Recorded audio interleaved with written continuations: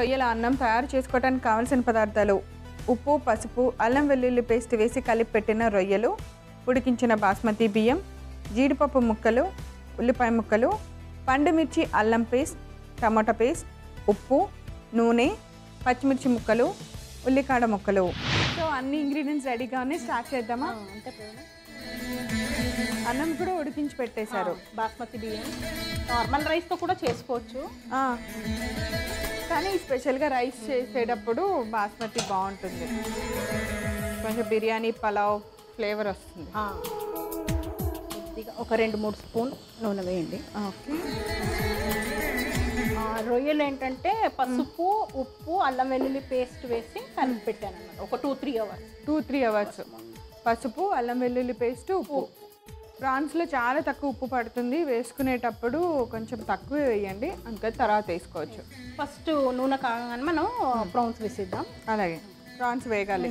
ఇది పలావ్కి అన్న బిర్యానీకి డిఫరెంట్గా ఉంటుందా ఈ రైస్? చాలా సింపుల్ కదా. అంటే మసాలాలు ఎక్కువ లేదు.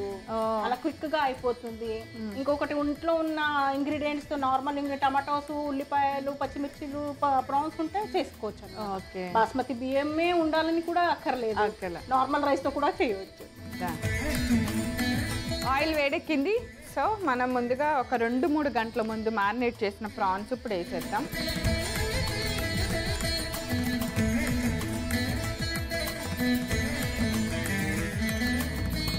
రెండు నిమిషాలు మూసి పెట్టేద్దాం ఓకే మూత పెట్టేసి మనం ప్రాన్స్ని బాగా వేయించుకోవాలి. ఏంటంటే ఒక ఫైవ్ మినిట్స్లో ఉడికిపోతుంది. మనకి జనరలీ ఒక టెన్ మినిట్స్ కావాలంటే ప్రాన్స్ ఉడకడానికి అవును వరమాల గారు ప్రాన్స్కి అన్న ఫిష్కి కొంచెం నీసు వాసన వస్తూనే ఉంటుంది. అది పోవాలి అంటే ఏం చేయాలి? ఇదే మెథడ్ అనమాట పసుపు అల్లం వెల్లుల్లి పేస్ట్ ఉప్పు వేసి పెట్టేసుకోవాలన్నమాట. తర్వాత నెక్స్ట్ కుకింగ్ ప్రాసెస్కి వెళ్ళిపోతుంది అంతే. అది ముందు అలా పెడితే ఆ వాసన పోతుందా?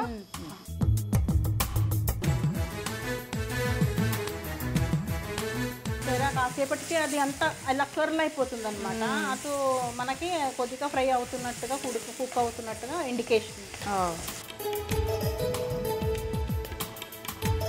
చూద్దామా గారు చూద్దాం ప్రవీణ. వా చూసారా? కర్ల్ అయిపోయింది.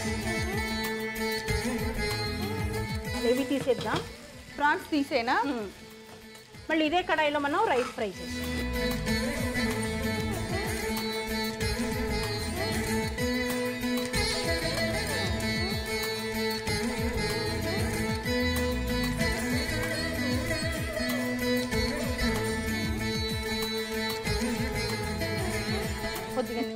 ఒక టూ స్పూన్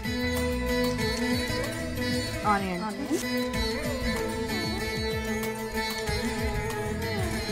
కొన్ని జీడిపప్పు వేద్దాం. ఓకే జీడిపప్పు.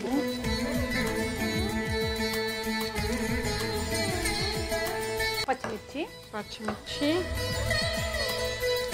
మరి ఈ టమాటో పేస్ట్. టమాటోస్ని పేస్ట్ చేసి. మనం అన్నాం కదా టమాటా రొయ్యల అన్నం అని. సో అందుకని మెయిన్ ఇప్పుడు టమాటా వచ్చేసింది. పేస్ట్ చేసుకుంటే చాలా ఫాస్ట్గా ఇంకా ఫాస్ట్గా అయిపోతుంది.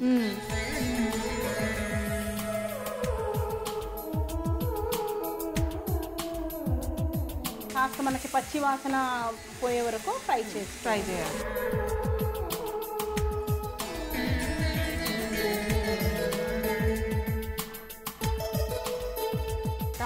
బాగా ఫ్రై అయినాయి కదా.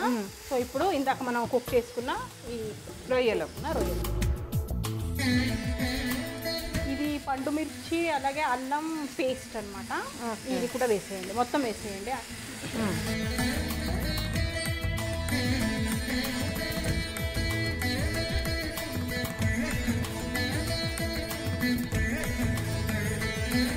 సో ఇప్పుడు ఈ రైస్ వేసేద్దాం. మనం ముందుగా ఉడికించిన బాస్మతి రైస్.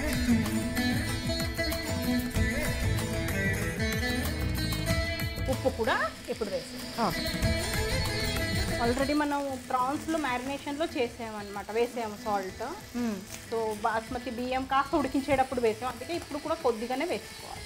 ఓకే.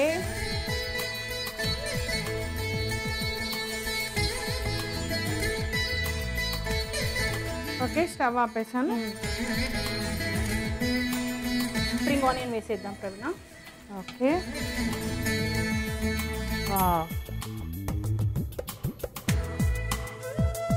చూసారా? ఇది ఏ బిర్యానీకినా తక్కువ అనిపించట్లేదు ఇది. అస్సలు. కదా?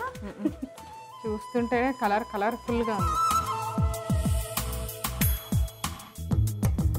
సర్వింగ్ బౌల్లోకి తీసేద్దాం.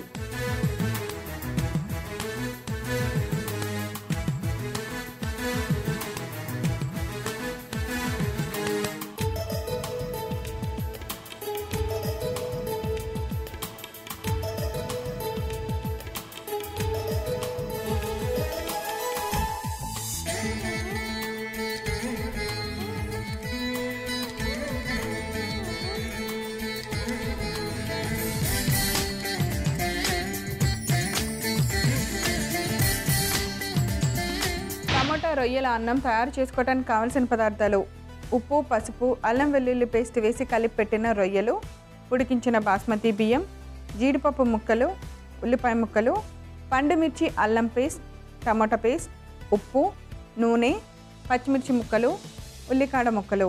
టమాటో రొయ్యల అన్నం తయారు చేసుకునే విధానం. ముందుగా పొయ్యి వెలిగించి బాండి పెట్టి నూనె వేయాలి. నూనె వేడెక్కిన తర్వాత రొయ్యలు వేసి మూత పెట్టి ఫ్రై చేసుకోవాలి. అలా ఫ్రై చేసుకున్న రొయ్యలను పక్కకు తీసి ఉంచుకోవాలి. ఇప్పుడు అదే నూనెలో ఉల్లిపాయ ముక్కలు కొద్దిగా జీడిపప్పు పచ్చిమిర్చి ముక్కలు టమాటా పేస్ట్ వేసి టమాటా పచ్చివాసన పోయేంత వరకు బాగా వేయించాలి. తర్వాత మనం ముందుగా ఫ్రై చేసుకున్న రొయ్యలను కూడా వేసి పండుమిర్చి అల్లం వెల్లుల్లి పేస్ట్ వేసి ముందుగా ఉడికించిన బాస్మతి రైస్ను వేసి దానికి సరిపడంత ఉప్పు కూడా వేసి బాగా కలుపుకోవాలి. బాగా కలిపి స్టవ్ ఆఫ్ చేసిన తర్వాత స్ప్రింగ్ ఆనియన్స్ ముక్కల్ని వేసి ఒకసారి బాగా కలిపి ఒక సర్వింగ్ బౌల్లోకి తీయండి. అంతే ఎంతో రుచికరమైన టమాటా రొయ్యల అన్నం రెడీ.